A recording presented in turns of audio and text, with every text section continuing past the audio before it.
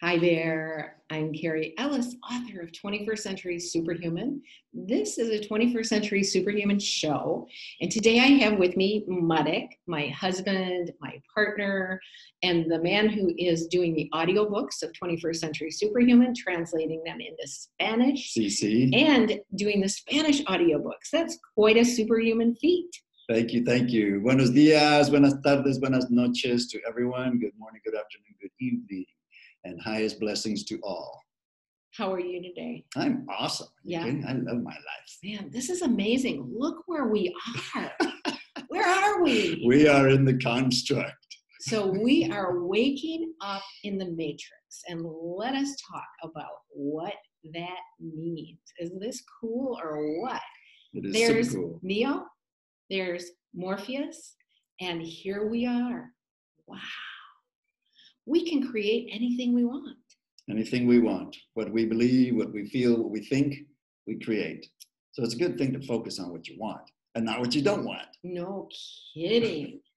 Let me read really quickly a quote from book two, which I'm in the final edit of for the third edition right now. Um, we've done upgrades, updates, third edition. The third edition will have a gold seal on the front, and this one will be out on Amazon pretty quick. It is so good. Book two, mine. So applicable to today. It's Yes. unbelievable. Love it. we are immersed in a field of fast moving energy that is continuously reshaping itself. The field yields moving electrons to our thought. The instant we change, matter and events change. Breathing and smiling, this is why we say breathe and smile. We resonate reality into being from a new place of formless, timeless essence flowing through the heart as love. Big Aho. responsibility, huh? Oh, I love it. Yes. So this Morpheus tells Neo that this is a training simulation, right? Right. This is his first time after he's been awakened. This is his first time into what he thinks could be the matrix. And so he's plugged in and he's like, okay, where are we? And Morpheus says, this is the construct. Uh, it's like the matrix, but they use it like a training program. And they can load anything into their, whatever they're going to use into their anime, if you would, uh, before they go into the matrix. But this is a simulation, a simulated place. Look at this. I have a glass of blue green algae here, wa- water here. However, I can also put it over in so in the simulation. I mean, I can put it into the construct, right? Right. And so it's only showing up because my hand is behind it. It's only showing up because I am behind it, because my Ooh. thought is upon it. Ooh. It's here. We can put it over into the construct, right. or we can put some attention upon it. And now we have a glass of blue green algae water. That is so cool. wow. Now, what does that mean and how you can bring things in from Right. What their thoughts mean? into reality and you can bring it into what well, of course, reality is in quotation marks and and or into the matrix, into our environment, into our hologram, into our make-believe reality or a very fancy, very fancy hologram. We live in the coolest hologram in the universe. I think. This is so delicious. I'm so glad I can bring it into the dimension where I actually am and I can taste it. It's really good. I can feel it giving me new brain cells and strengthening my body. And we have a little video on this at the 21st Century Superhuman website under products. And of course, in this same scene with Morpheus and Neo, he explains to him, because you know Neo grabs the chairs and stuff, and he says, "So this isn't real." And Morpheus says, "Well, what is real? It's just the elect- electrical impulses in your brain telling you about taste, smell, color, uh, you know, your five senses. It's just it's just your brain interpreting signals in the environment around you into something that you can recognize." That's a big thing to comprehend. It's a brain twister. I remember when there was a kid's book out a number of years ago called The Velveteen Rabbit. Let me just read something from that really quick by Margery Williams. And this is a pretty famous quote. I remember this quote and really liking it, but I understand it a lot differently today. Let's hear it. The Velveteen Rabbit asks the skin horse how toys become real. The skin horse replies, Real isn't how you are made, it's a thing that happens to you. When a child loves you for a long time, not just to play with, but really loves you, then you become real. Mm. And wow, this is really how our thoughts work in this construct. When we focus on something over and over and over and over, and it's our daily mental chatter, we end up holding that event, that person, that circumstance, that situation in form. And it's what we are going to see in the system around us. So, what you're saying, using the construct with Morpheus and Neo as an example, um, they ask the operator to download things to them. So, basically, you're saying that we are also our own operator that downloads things to us when we ask for it, request it. And how do we request it and ask for it? We focus on it, we give our attention to it over and over and over again. That's or, right. even better, passionately. What you give your attention to passionately, you're asking the operator to download into your reality. And it, and it comes like that. Well, and one of the things that I'm going over and over in book two, which is really good, book two mind of the mm-hmm. 21st century superhuman books, is that we also have, we're like an iceberg. So we have this little tip that's above water level. Mm-hmm. And Harvard studies tell us 95% of our thought is unconscious. And this is really even taught about in the ancient Aramaic with Yeshua or Jesus. He taught about this. And in the ancient Aramaic, it says that they didn't even have an understanding then for the unconscious. Like just now, we have an understanding for it. And the Aramaic is really kind of a quantum language, and it's teaching about us as if we were a biocomputer. And we have to clean out that old data, Mhm. which is shebag, remove, clean out, clear. And unless we clear or cancel this old data, it is actually going to be vibrating more strongly than our conscious thought. So, what does that mean? Well, so what you're saying is then that the tip of the iceberg is your conscious thought, and the water and the and the iceberg below the water, which is even more of it, it's a huge mass, is your subconscious. And so that part is the part that's really running the the show, the direction that you're going to be floating or going, or if you're if you're choosing to have a purpose, uh, the, the the direction that you are that you're going in. Right. So, say I have a thought, which is I decide today I'm, I'm going to manifest. I decide I'm going to get a lot of money. I'm going to have a lot of money. Okay. So, that's a really common thing. People feel like I can manifest something. I can manifest a house. I can manifest a relationship. So, in my conscious mind, I'm going to say, I'm going to have this. It's going to come to me.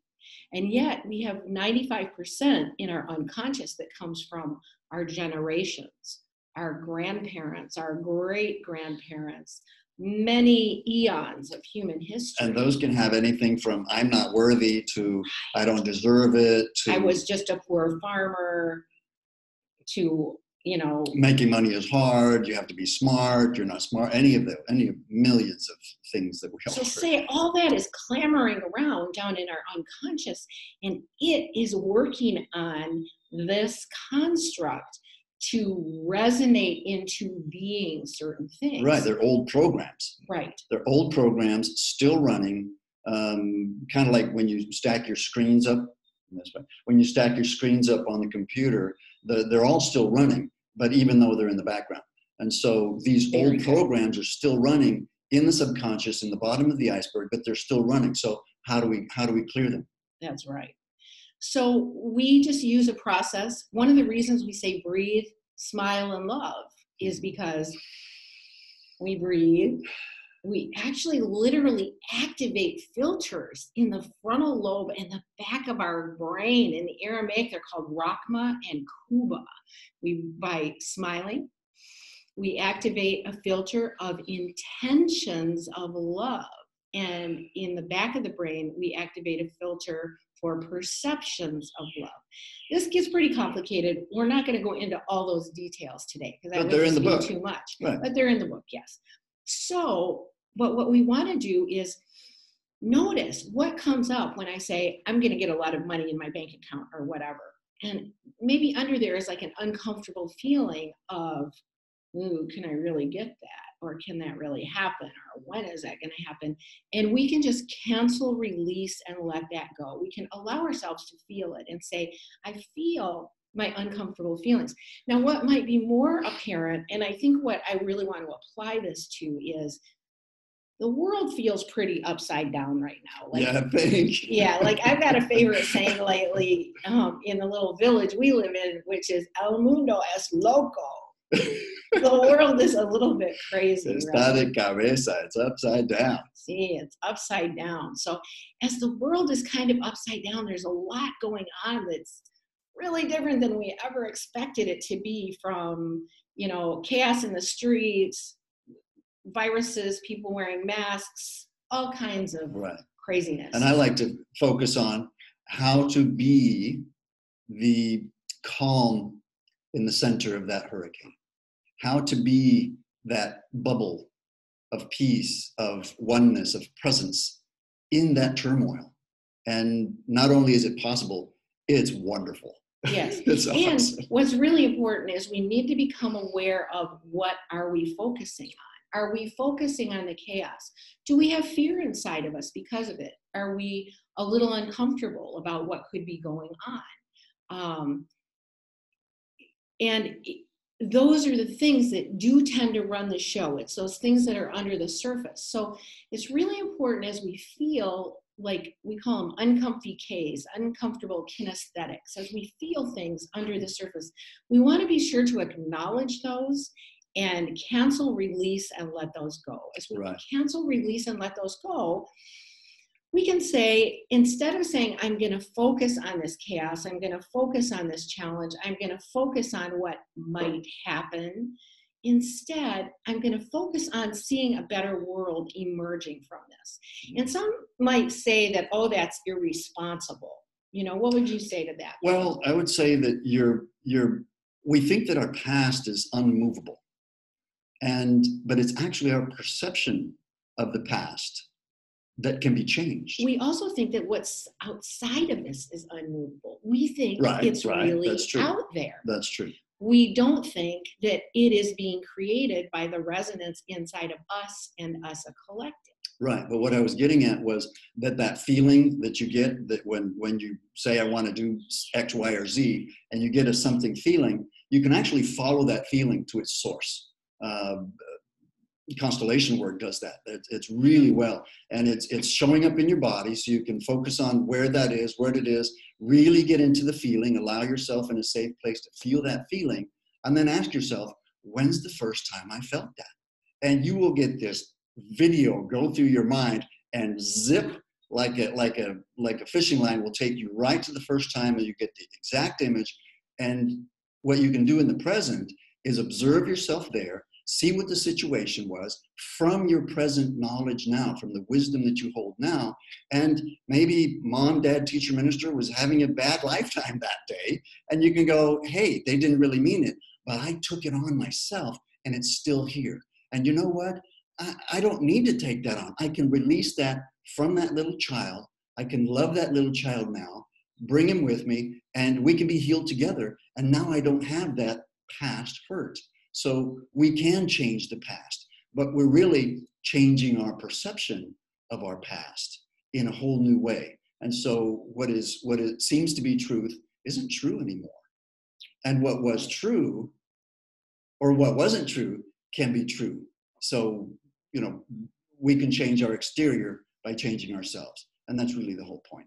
We can't change the exterior, but we can change ourselves through through our hearts. Well, and the truth is, when we change ourselves, the exterior changes. That's right. and that we really have to know that it's a it's a whole new education process um, that as we change ourselves on the inside literally the outside changes this is why the monks went and sat in the cave and meditated because they knew that sending peace into the world from a state of peace would Mhm. help bring about peace. And the more of us who can get this right now, the more we can be sending from that breathing, smiling state, from our heart of love, the more we can be sending those things into the world. I see my children joyful. I see us having free healthcare choices. I see us, and I have people write me uh, just to mention also, we've had a lot of censoring going on lately. And I will Oh, say, right. you know, okay, I have that in my unconscious and I'm resonating that in my world. Um, I'm finding that I'm having to dance around what I can actually say because there's a lot of shutting down going on. But I just choose to stay in the place where I can see an open path.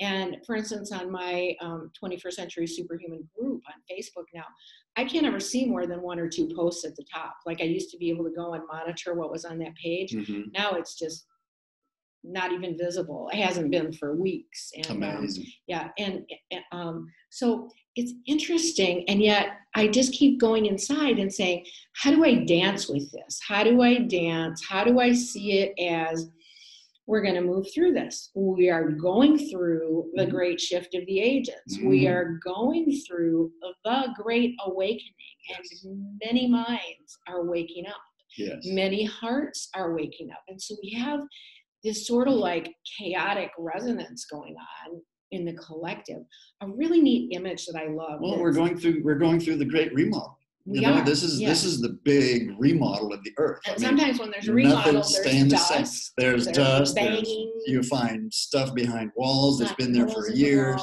Things surfacing that you had no idea were in those dark, deep, wet, nasty places. Right. and you got to get them out. Sometimes the road, the, the wood's rotted, and you need to clear it out, and it's messy, and that's what we're going through now.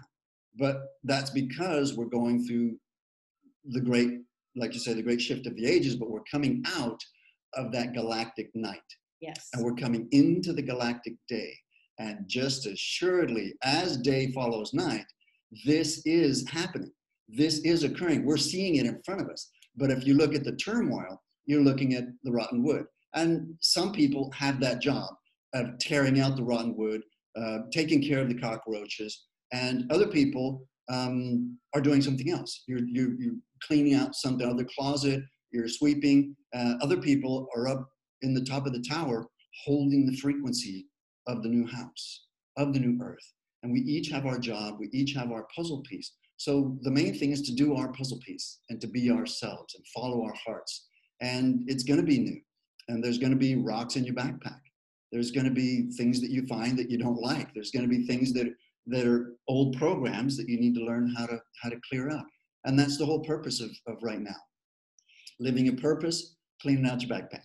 That's great. and I think we need to be able to look at each person as being on their own perfect journey. You know, instead of looking at each other and going, oh, why are you there? Or to be critical of each other. Instead, let's look at each other and see that each person is in their own perfect, divinely unfolding process. And wherever they are, whatever they're focused upon, and in a way, they are us one of the images Yes. I love from book two is I talk about um, a whirlpool in the river. Remember when you're canoeing or kayaking, there can be an eddy in the river, and it, it's when the water goes around, spins around, and it creates a focal point. And that is, we are the river, we are the ocean, and we are the ocean in the drop. We are the river, and we are the river in the whirlpool. When we're focused in upon ourselves and our own way of doing and being, we're like the little whirlpool in the river. And then when we open up and embrace ourselves as part of the whole, we're like the whole river flowing. So it's like you can get trapped in the eddy. Is that what you're saying? You can get caught in an mm-hmm. eddy by thinking on one thing, and the idea is to get back out into the flow of the great river. You could use it that way. Okay. Yeah. And or either one. To I, I know that I'm focused sometimes and know that sometimes I am one with the all. So it's okay to be the eddy. Yeah, it's okay to be the eddy. Okay, gotcha. It's okay to be focused internally and then it's okay to become realizing that we're part of this whole great change that's happening. There may be some realization that you need to learn from the eddy, um, Yes, and that's all good. That's all good too, of Yeah. course. Beautiful.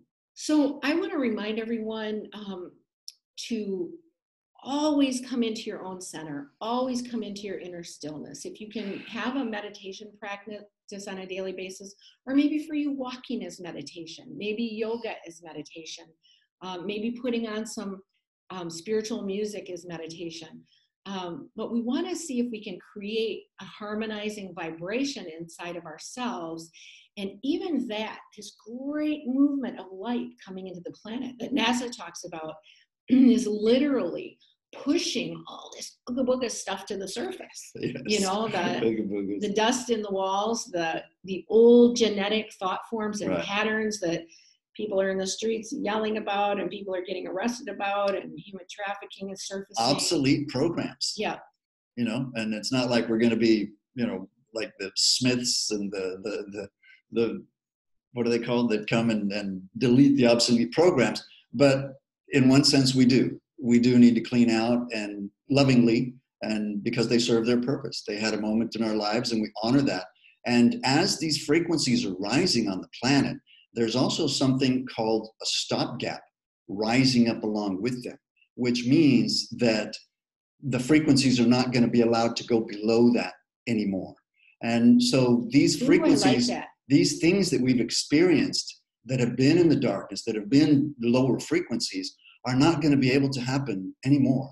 And so, one aspect of that is loving them, honoring the the uh, experience for for what it was and for what it is, and for the knowledge that you gained from it.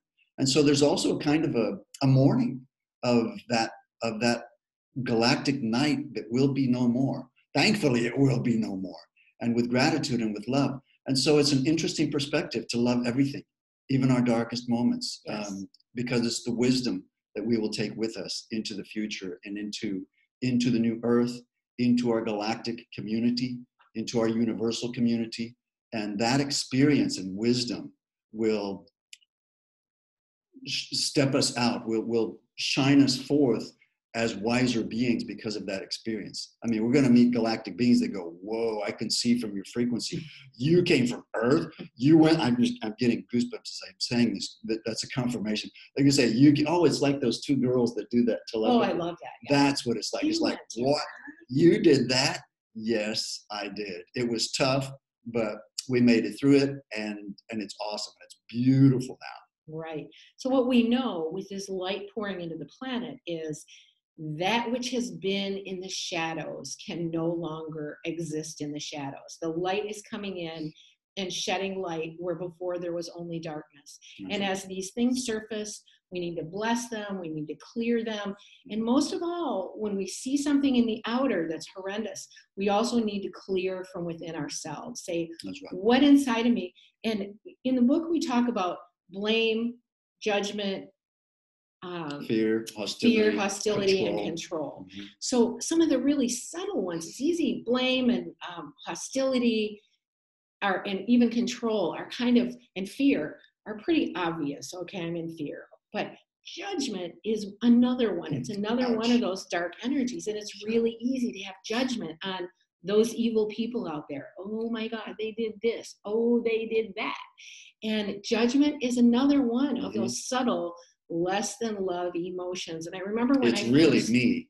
When I'm pointing at someone, it's me. Yes. I'm pointing at me. When you point that's at somebody else, that's a, there's twain, a three twister. fingers pointing back at you. It's right? a brain twister, but it's a good one yes. too, because you you love who you see. You love as yourself. Do you recognize? Do you speak to that person as the divinity within you? Yes. And the matrix can only mirror that which we give it.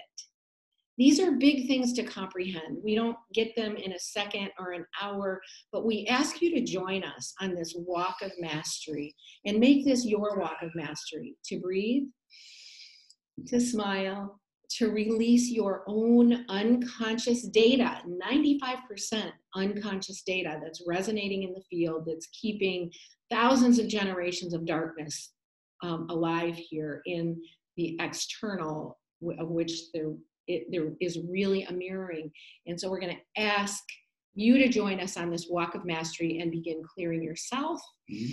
Cancel, release, and let go. Anytime anything comes up, mm-hmm. to love yourself, love the person, love the situation, and envision practice envisioning what you really choose to come into being. So when something comes up that's negative and dark, it's an opportunity for us to cancel, release, and let go. Right.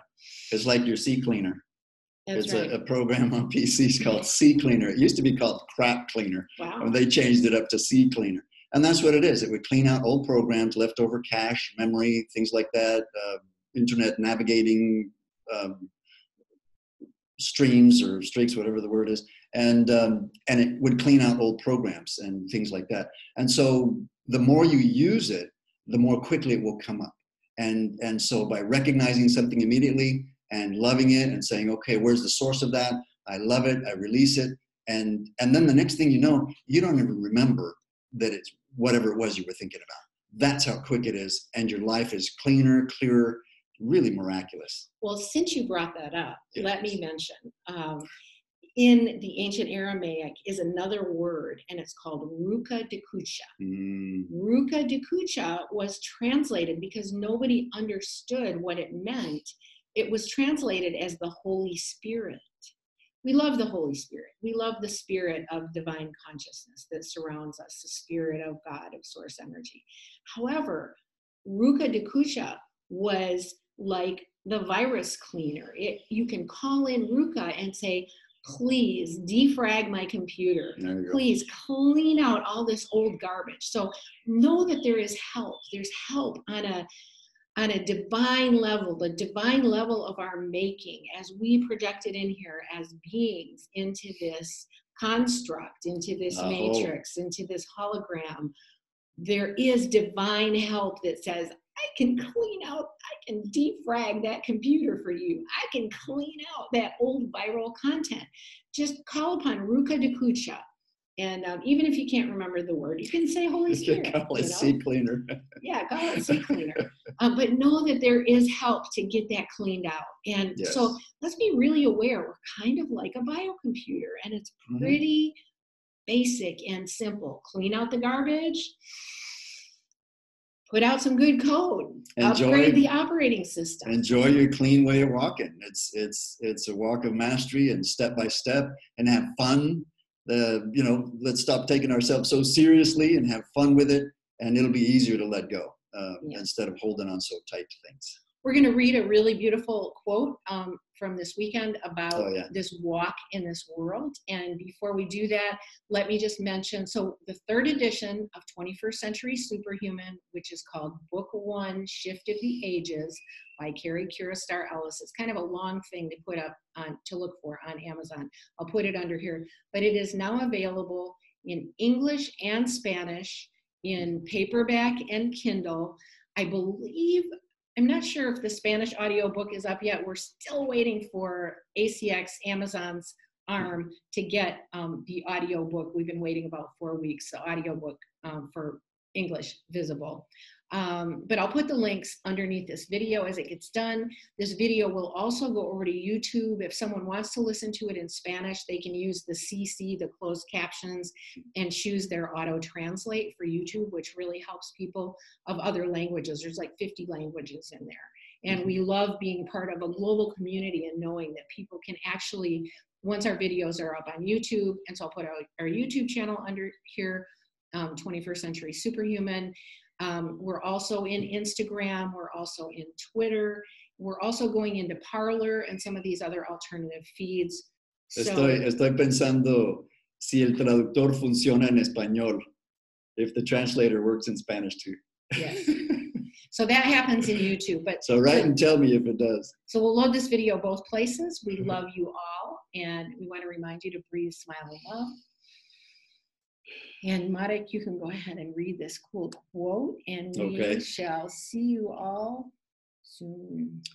Thank you, thank you. Yes, this comes from Adama of Telos, coming through, oh, I had her name at the beginning, uh, Asara Adams in Mount Shasta. We thank you, and this is beautiful.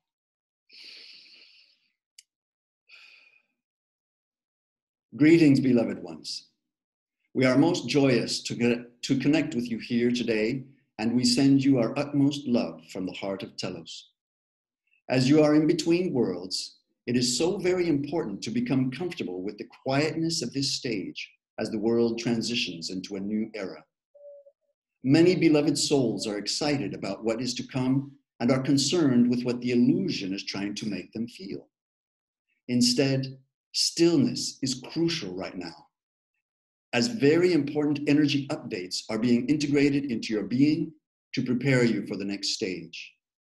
Your DNA and RNA messenger codes are being fully activated. Vast amounts of old beliefs, pains, and discord are being released. Your physical, emotional, mental, and etheric bodies are being shifted into the next vibrational level. You are receiving light codes of divine perfection. Most importantly, you have been preparing for this shift over many lifetimes, and now it is time to apply everything you have learned with the sincerity of your heart. Everything you have learned about manifesting and that your focus creates your reality everything you have learned about the love of Source and that you are an expression of Source. Everything you have learned about the fact that you are indeed a creator of your reality. Apply these principles with the fullness of your heart's inner knowing. The more you go inward and withdraw your attention from the illusion of your old world, the more you can begin to truly feel the love and power of Source that is flowing through you. This allows you to create new connections to the divine new earth. Every time you can feel these energies.